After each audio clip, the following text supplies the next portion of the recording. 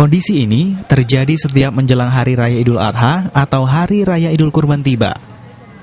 Di setiap daerah, tak terkecuali di Yogyakarta, pedagang-pedagang hewan kurban dadakan muncul di Pasar Tiban.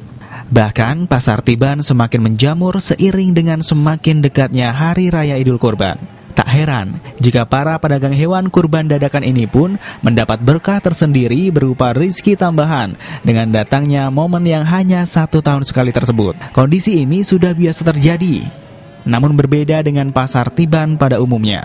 Pasar Tiban kawasan Kota Gede bernama Pusat Hewan Korban Kota Gede Muhammadiyah ini contohnya. Berkah berupa keuntungan penjualan hewan kurban diberdayakan untuk kaum duafa.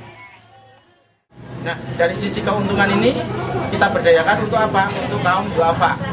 Di situ ada delapan asraf yang harus menerima, termasuk fakir miskin, yatim piatu. Fakir miskin untuk beasiswa pendidikan dan sunatan massal. Lalu untuk yang yatim piatu, ini jelas untuk santunan setiap bulan. Apabila dia sekolah, ada. Nah, pos-pos keuntungan dari penjualan hewan kurban ini sudah kita plotkan. Dan kita transparan.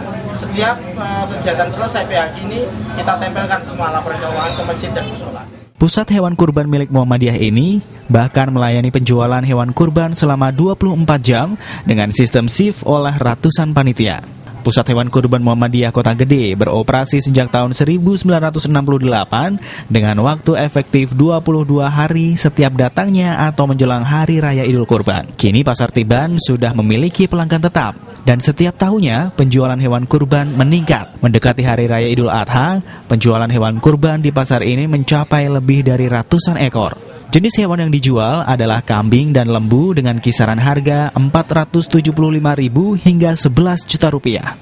Hewan yang dijual pun sudah mendapat label layak dari petugas kesehatan Dinas Perindustrian Perdagangan Koperasi dan Pertanian Kota Yogyakarta. Danita Dini, Dimas Wajar, Adi TV.